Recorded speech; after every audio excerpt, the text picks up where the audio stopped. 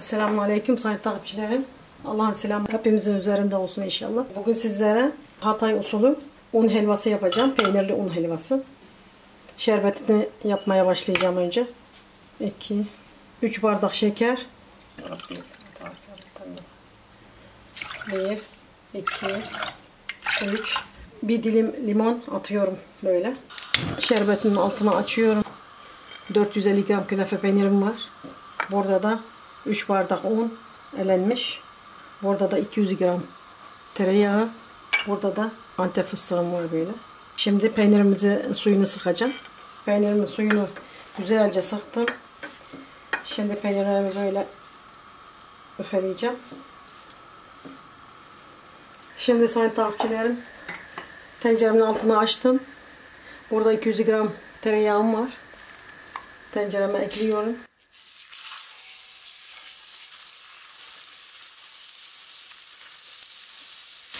Şöyle 20 gram kadar bıraktım.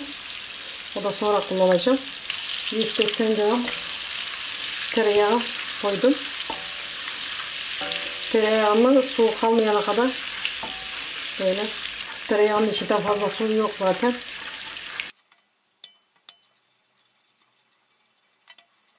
Şimdi unumu ekliyorum. 3 bardak un kullandım.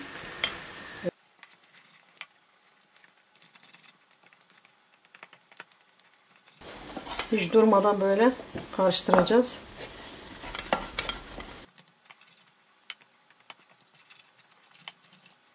Ta ki rengi dönene kadar, pembeleşene kadar kavuracağız. Unumuz böyle yavaş yavaş pembeleşmeye başladı. Diğer taraftan da şerbetimiz kaynıyor.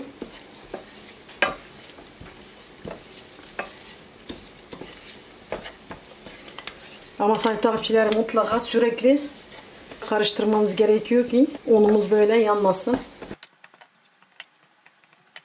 Karıştırırken bu şekilde böyle topaklanmış un varsa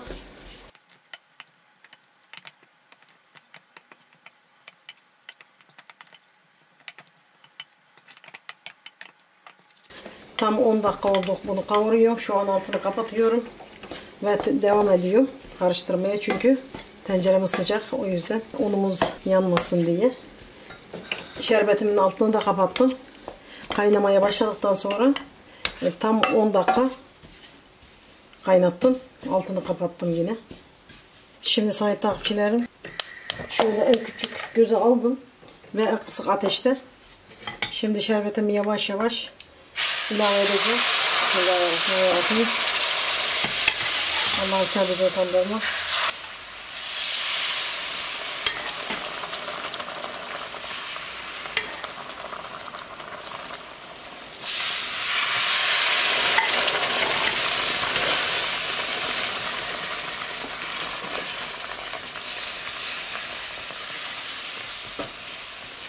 Altını kapattım.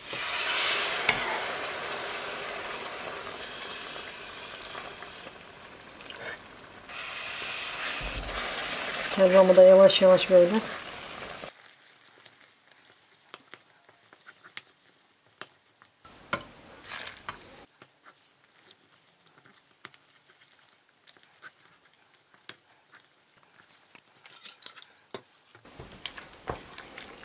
Şerbeti hepsini boşalttım.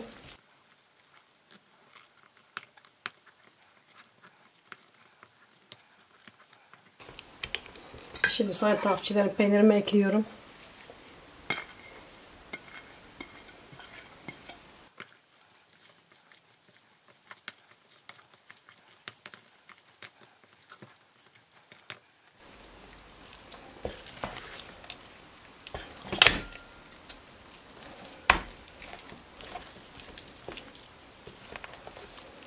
Helvamız yavaş yavaş kendini göstermeye başladı.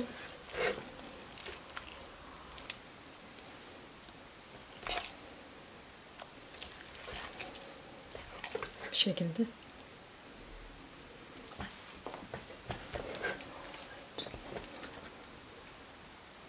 Sayın takipçilerim, notu siz vereceksiniz. Ben bir şey demiyorum. Evet. Maşallah, berekallah. Bu Hatay künefe peyniri. Böyle.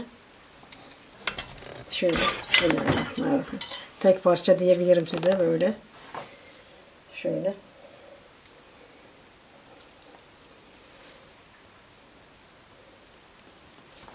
Helvamız şu an hazır. Maşallah. Şimdi servis yapacağım. Siz de mutlaka deneyin. Ve bu lezzeti, inanılmaz lezzeti tadın sayın takipçilerim böyle. Berekallah. Berekallah. Berekallah. Böyle.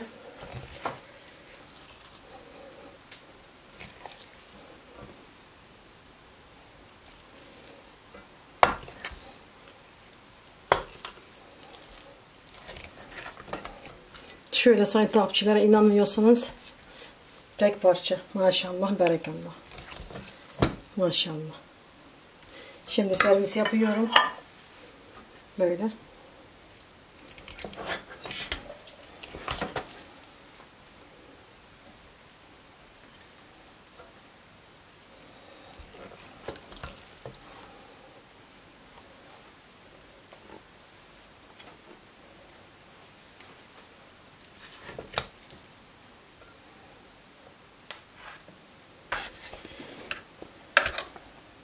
Bir tatlı kaşığı tereyağı koydum böyle üstüne.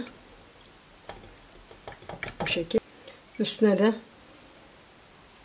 antep fıstığıyla süslüyorum. Sayın takipçilerim hakkınızı helal edin.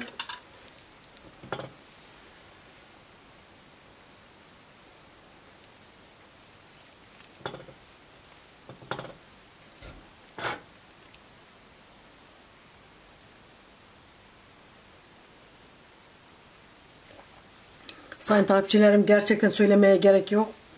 Gerçekten ben susuyum benim helvam konuşsun. İnanılmaz güzel oldu.